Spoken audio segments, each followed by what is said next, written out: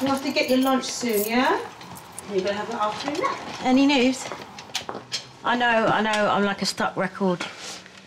Have you been burning toast again? Yeah. So, sorry, sorry, babe. Because if Mum doesn't get back to one of my calls, seriously, me and her are going to be having words. Yeah. I, look, I went upstairs, checked in her room. Some of her stuff is gone. Gone? What do you mean gone? We, we had an argument. What about? Kim. Yeah, she asked me to choose between her and Kim, and naturally, you know, naturally I chose Kim.